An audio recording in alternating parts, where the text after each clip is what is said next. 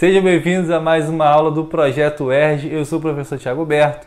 Na aula de hoje, o convidado especial é o professor Roberto. A aula de hoje é com ele, beleza?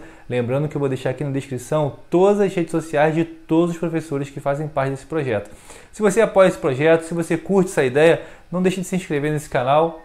Deixa o likezão aí no vídeo, que isso vai ajudar, vai fortalecer bastante. Dá uma passada no canal dos meus amigos também, beleza? Então, bora para a aula.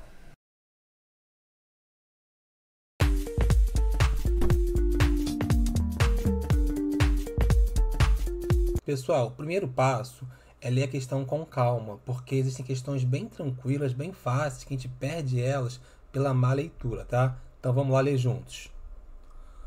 Uma gerente de loja e seu assistente viajam com frequência para São Paulo e voltam no mesmo dia. Então eles viajam e voltam no mesmo dia, show de bola.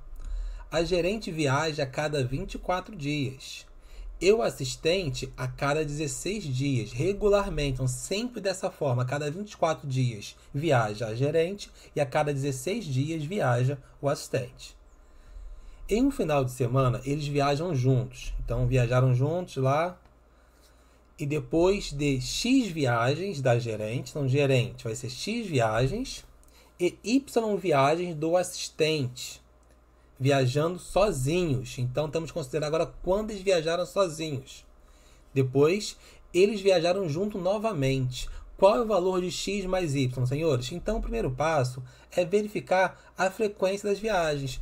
Vamos partir do 16, que é o assistente, que é mais fácil ali, olha. Nós temos que o assistente foi a cada 16 dias. Então, viajaram juntos no dia zero. Pensando assim. Depois, mais 16 vai ser 16, mais 16, 32, mais 16, 48, mais 16, 54 e assim sucessivamente. Senhores, o que fizemos aqui nada mais é do que escrever os múltiplos de 16. Igual lá aprendendo na terceira série com a tia Tatá. Confere, pessoal. Que é 16 vezes 0, 0. 16 vezes 1, 16. 16 vezes 2, 32. E assim sucessivamente. Então fica bem fácil construir essa tabelinha ali, essa sequência de números múltiplos de 16. Então, agora fazer o mesmo processo, senhores, para a gerente, né? Que ela foi a cada 24 dias. Então, vamos escrever os múltiplos de 24. Fazendo isso, olha.